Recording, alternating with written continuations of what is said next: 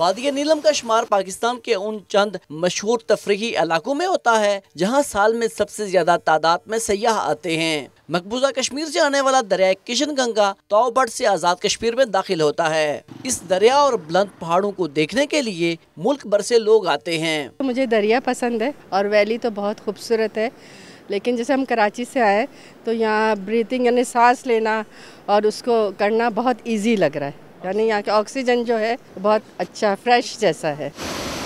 200 kilometre तवील रकबे पर फैली इस वादी में रत्ती गली चिट्ठा कट्टा समेत दर्जनों झीलें और आबशारें इसके हुस्न में मजीद इजाफा करती हैं। उधर दरिया के उस पार मकबूजा कश्मीर की खूबसूरत वादी और उसमें भारतीय जबरी तसलत को देखकर अक्सर सयाह इस इलाके से अपनी जज्बाती वाबस्तगी का इजहार भी करते हैं। इतनी खूबसूरत जगह, माशाल्लाह, ये ये अल्लाह की कुदरत हमें नज़र आ रही है यहाँ पे। सुबह उठे मैंने हमारे मुँह से सिर्फ़ सुबह अल्लाह ही निकल रहा है। चारों तरफ़ देखें, पूरे पहाड़ और बीच में ये बहरा है। और बीच में देखें, कुछ जगह ऐसी है कि बिल्कुल ड्राई कि पत्थर भी हैं और वहाँ में पानी नहीं है। लेकिन अल्लाह की बस शान और मैं कहती हूँ कि कुछ अल्फाज नहीं निकल रहे हैं, मुझसे कुदरत देख के अल्लाह नीलम के सरसब जंगलात बेश बेशबहा कीमती मादनियात के पहाड़, लकड़ी और पत्थरों से मखसूस अंदाज में तामीर किए गए घरों से बसाई गई बस्तियाँ यहाँ पर आने वालों की इस इलाके में दिलचस्पी और भी बढ़ा देती हैं। कश्मीर की ये खूबसूरत वादियाँ देखने वालों पर सहर तारी कर देती हैं। हुकूमत अगर इन इलाकों तक सड़कों की हालत बेहतर करे तो इलाके की सियाहत को मजीद फ़रोग दिया जा सकता है।